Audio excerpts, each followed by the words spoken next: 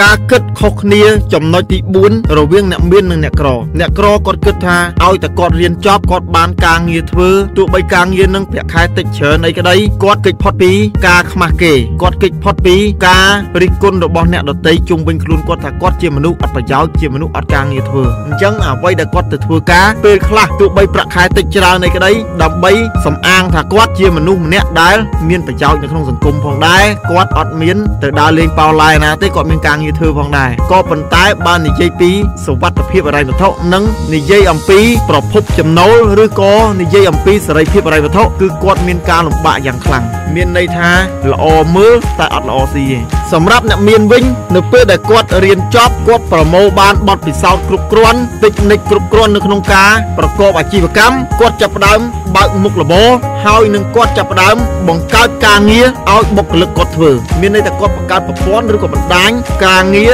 សម្រាប់ឲ្យបុគ្គលិកចូលធ្វើការតាមផ្នែកនីមួយៗគាត់ជាតកែអញ្ចឹងនៅពេលដែលគាត់រៀនចប់គាត់ខ្លាយទៅជាតកែគាត់មិនមែនធ្វើការងារទេគាត់ជាអ្នកបង្កើតការងារឲ្យបុគ្គលិករបស់គាត់ធ្វើអញ្ចឹងសួរថា អ្នកដែលធ្វើការបម្រើឲ្យតកែហើយនឹងតកែដែលជាអ្នកដាក់ការងារឲ្យធ្វើតើមួយណាហត់ជាង សម្រាប់ខ្ញុំខ្ញុំគិតថាហត់ទាំងពីរគ្រាន់តែតកែហត់ដោយប្រើប្រាជ្ញា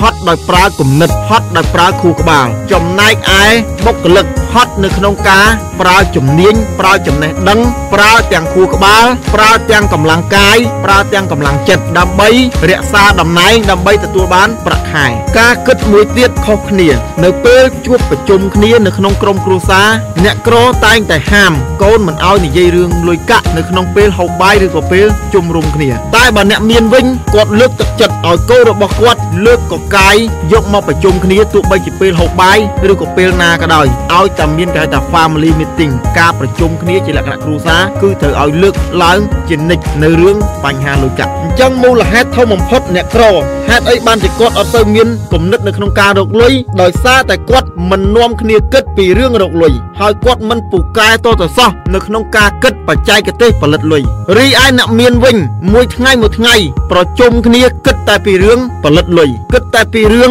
ពង្រីកដើមទុនពង្រីកមុខរបរបើកក្រុមហ៊ុនបន្ថែម ពង្រីកអាជីវកម្មបន្ថែម ពង្រីកសាខាបើកសាខាបន្ថែមឬបុគ្គលិកបន្ថែមនាំចូលទំនិញបន្ថែម បន្ថែមការផ្សព្វផ្សាយបន្ថែម បន្ថែមការវិនិយោគទុនបន្ថែម អ្នកក្រតែងតែខ្លាចបាត់លុយអ្នកក្រ តែងតែរិះថាំតែពេលខ្លះអ្នកក្របែរជាចាយលុយខុសខ្ទង់ហើយនៅពេលចាយលុយខុសខ្ទង់ហើយមិនដឹងថាខុសខ្ទង់ឬក៏ត្រូវខ្ទង់ហើយទោះបីជាចាយលុយខុសខ្ទង់ក៏ចាយអស់ទៅហើយអត់ស្ដាយសំណោះទេ ចំណែកអ្នកមានហ៊ានចំណាយតែជាការចំណាយត្រូវខ្ទង់តែបើចំណាយខុសខ្ទង់អ្នកមានដេកស្ដាយលុយអញ្ចឹងយើងឃើញថាផ្នត់គំនិតការគិតរវាងអ្នកមាននិងអ្នកក្រនៅក្នុងការប្រើប្រាស់លុយនិងក្នុងការរកលុយក្នុងការផលិតលុយមានលក្ខណៈខុសគ្នា ដែលធ្វើឲ្យសេរីភាពរៃវត្ថុខុសគ្នា ដែលធ្វើឲ្យលំហូរសាច់ប្រាក់នៅក្នុងក្រុមគ្រួសាររបស់គាត់មានលក្ខណៈខុសគ្នា